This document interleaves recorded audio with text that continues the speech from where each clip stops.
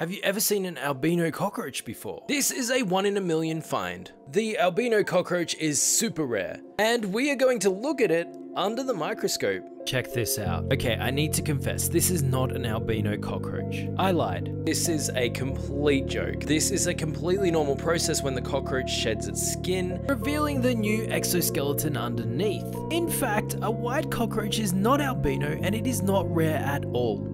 At some point in their lives, cockroaches will be white, and after a few hours, the cockroach will return to a light brown or a black natural colour. This is incredibly fascinating. Such a cool process.